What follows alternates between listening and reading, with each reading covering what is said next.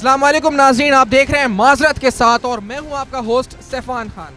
आज के शो में नाजीन, हम गुफ्तु करने वाले हैं सीएनजी इंडस्ट्री के ऊपर। क्या वजह है इस इंडस्ट्री को जो इंडस्ट्री के पार्टिसिपेंट्स हैं, वो ये कहते हैं कि निशाना बनाया जा रहा है। सीएनजी क्लोजर हमने देखा है कि एसएससीसी ये कहती है कि जी गैस नहीं है, इनको गैस नहीं दे रही। और इस वजह से हम देखते हैं कि सीएनजी 24 घंटे के लिए हमें बंद होती हुई नज़र भी आई है।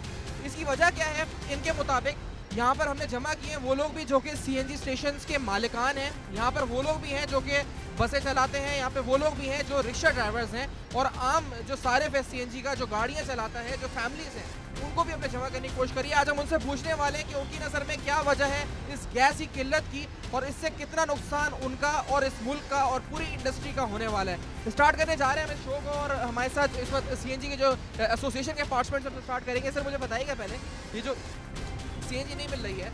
आज समझते हैं आपकी इंडस्ट्री को टारगेट किया जा रहा है मसले निशाना बनाया जा रहा है या हकीकी तौर पर कैसी किल्लत है यहाँ पर?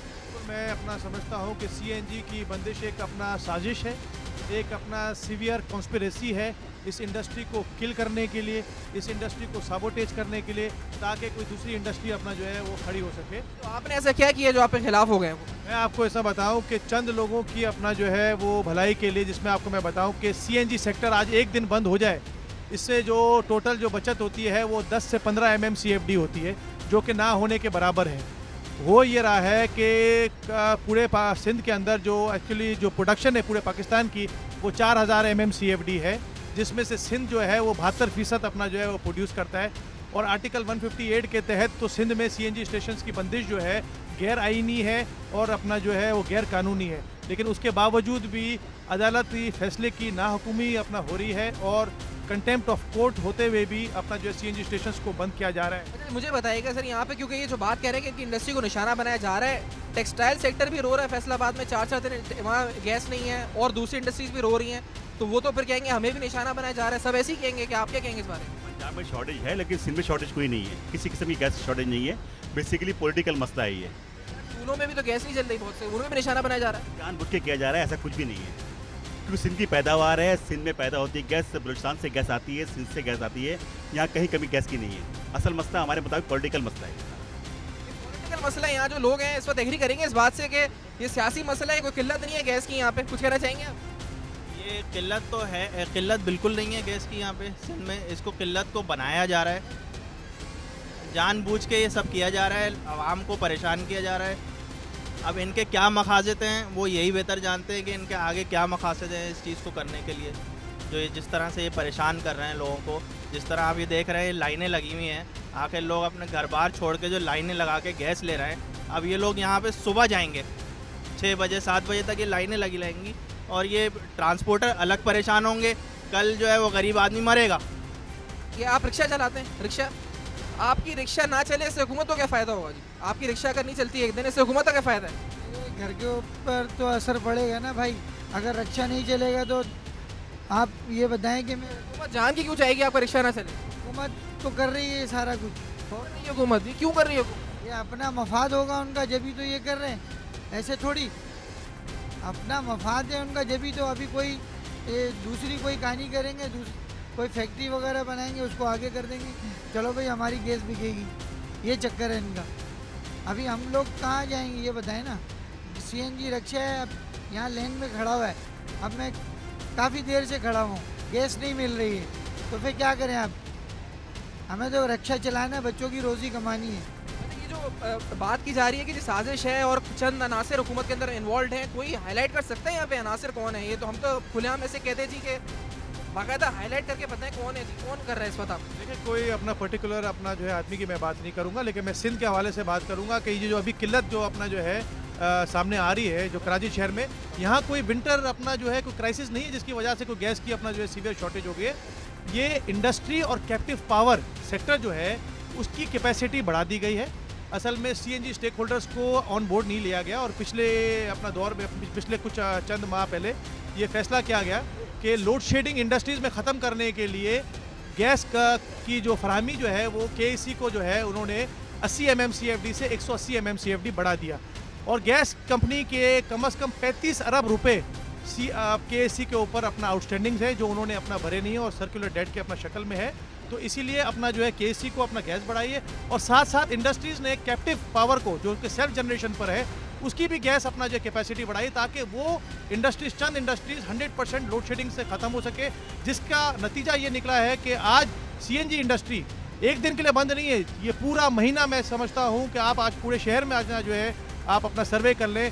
50 परसेंट से ज़्यादा सीएनजी स्टेशन आज लो प्रेशर की वजह से बंद है और पूरे लास्ट वन वीक से अपना बंद सिंध के हद तक कह रहे हैं कि जी इंडस्ट्रीज़ को ज़्यादा गैस सप्लाई की जा रही है, जिस दिन सीएनजी बंद थी कराची में, शहर में।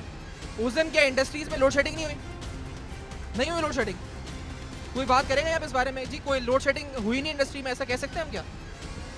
ये सारी जो लोड शेडिंग का प्रोसेस है, ये स्टार्ट हुआ था दिसंबर 2010 के अंदर, जब सुई गैस ने फ़र्स्ट टाइम सीएनजी सेक्टर को बुलाया और उनको कहा कि आपके ऊपर बंदिश है। फिर जुलाई में हुआ, जिसके केस हमने स्टे लिया है। तो अभी जो फ़िलहाल इन्होंने जो हमें कहा था, जो 48 घंटे आपने देखे थे लास्ट टू लास्ट वीक जो हमारी बंदिश हुई थी तो इन्होंने इंडस्ट्री के लिए एक फैसला किया था कि इंडस्ट्री को संडे को कंप्लीट शटडाउन करेंगे। अब जो फिगर्स आई मंडे को सुई सदन गैस कंपनी की, इनके पास टोटल जो गैस आई इनके सिस्टम में, वो थी एक हज़ार अस्सी एम और इन्होंने जो आगे सप्लाई की है वन थाउज़ेंड सेवेंटी एम जबकि सिर्फ़ तीन सौ एम इनको इंडस्ट्री की उस बंदिश से सेविंग होनी थी। तो जब ये सेविंग नहीं हुई तो सुई गैस की आज आँखें खुली है और सुई गैस ने ये रियलाइज़ किया है कि इनके साथ कितना बड़ा धोखा हुआ है। और सीएनजी को ये बली का बकरा बना रहे हैं और कॉपरेट नहीं कर रहे।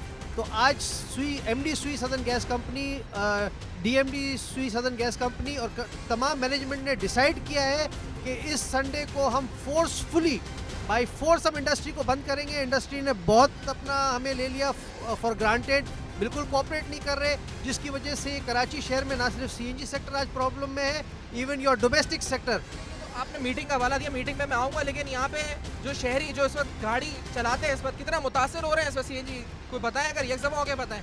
कितना मुतासर हो रहे हैं? सी एन जी नहीं मिल रही तो। रिक्शा चलाते हैं आप जी। क्या हो रहा है आपके साथ? सर मैं रक्षा चलाता हूँ और इस कदर परेशान हो गया हूँ। ये सीएनजी की लाइनें लगा लगा के और बताएँ आप जो डलवाते हैं फुल करवाते हैं रिक्शा अपना सीएनजी से तो कितनी देर चल जाता है रिक्शा आपका? दो घंटे तीन घंटे चलता है उसके बाद CNG ख़त्म हो जाती है। आपकी कोई दाढ़ी या कुछ आप कमाई नहीं होगी आपकी? सर घर में कल रोटी भी नहीं होगी खाने के लिए। हम इस इस तरह परेशान है कि इस तरह परेशान किया जा रहा है हम लोगों को कि इससे तो बेहतर है कि आदमी मर जाए।